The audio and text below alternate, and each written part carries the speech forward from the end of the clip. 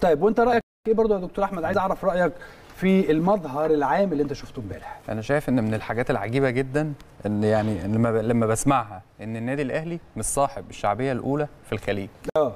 يعني أبسط رد إن في ظل تفشي وباء كورونا يكون الاستقبال ده اللي إحنا شفناه امبارح بالمنظر ده للنادي الأهلي.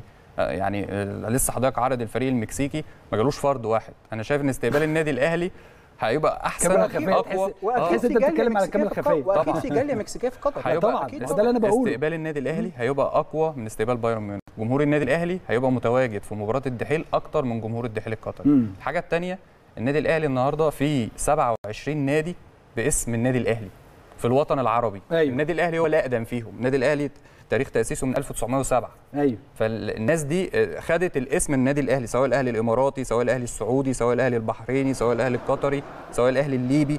وأهلي شندي. أهلي شندي. يعني في 27 أهلي في الوطن العربي. لما أيوة. تيجي لما بيجي يحصل مهرجان اعتزال في الخليج لا النجم بيختاروا مثلا النادي الأهلي بقيمة تسويقية معينة. ليه؟ لأن هو الأكثر الأكثر شعبية في الوطن العربي 500 مثلا ما يقارب من 500 ألف دولار عكس مثلا انديه تاني 50 أو 60 ليه؟ لأن النادي الأهلي هو الأكثر شعبية مش مجرد كلام. النادي الأهلي فعلا اللي إحنا شفناه امبارح أنا بتعجب لما بسمع إن النادي الأهلي مش صاحب الشعبية الأولى في الخليج.